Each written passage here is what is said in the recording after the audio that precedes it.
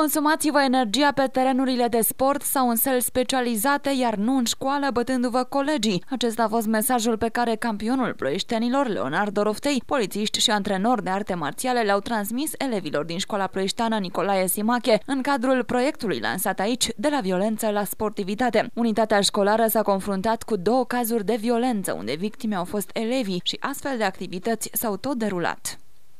Sumarea energiei negative a copiilor agresivi, a copiilor violenți, într-un cadru controlat, într-un cadru sportiv, un cadru în care noi să putem evalua pe parcurs uh, transformarea comportamentală a acestor copii, scopul final fiind uh, transformarea lor din bătăuși în luptători, Sportul schimbă comportamentul copiilor și aduce pe drumul bun. În plus, îi ține ocupați și nu se mai pot gândi la răutăți. Să mă bat în curtea școlii, dar totuși era o problemă, puteai să-l dai cu capul de ciment, puteai să îl nenorocești, puteai să nenorocești pe cineva. Sunt riscurile mari. Sunt riscurile mari și pentru că îmi plăcea să mă bat, am spus, mi s-a oferit această șansă de care am profitat la maxim. Asta spun copiilor. Profitați și voi, e un sport frumos, dar nu numai boxul, sunt atâtea săli de sport, sunt fie... M-a salvat de la sărăcie, de la foame, puteam să ajung un delinvent într-un penitenciar, am avut o viață, deci o copilărie foarte zbuciumată, părinții s-au despărțit de când eram mic, pe maica mea nu o cunosc, este chiar un, un roman. Copiii antrenați de Mădălin Tănase la Băicoi au făcut demonstrații în fața gazdelor, iar mezinul clubului, un băiețel de șapte ani, chiar s-a luptat cu Doroftei.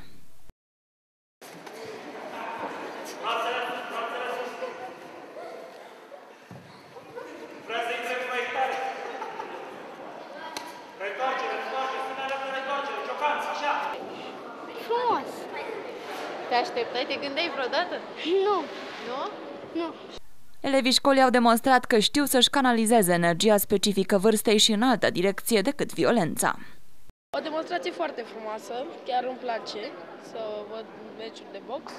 Te-a convins că decât să te bați pe stradă cu băieții, e mai bine să te duci la sală?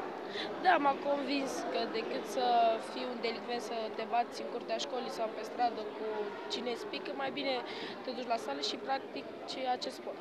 Care sunt activitățile care te țin pe tine departe de televizor și departe de a te bate cu copii? Păi eu mă duc la tenis și de câmp și majoritatea timpului stau învățând și nu prea mai am timp de calculator sau de televizor. Tu cam bați băieți, am auzit? Nu. Când se impune, nu? Păi dacă nu îți convinți, da. E bine să știi să, să te aperi? Da. Nu în ale momente. Ai avut probleme vreodată și a trebuit să te aperi? Nu. Nu. Doar pe colegi, așa. Că vă șicanați. Da, da, deci ca nu că ne bătem. Proiectul a fost inițiat de secția 6 Poliție din Ploiești în parteneriat cu școala Nicolae Simache. Organizația a salvat copiii București și un sponsor local.